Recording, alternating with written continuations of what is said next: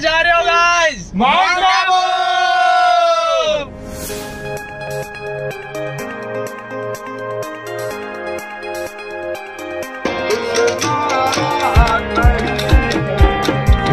Hello अभी हम mount Abu में है चाय पीने के लिए जा रहे हैं। ये देखो पीछे।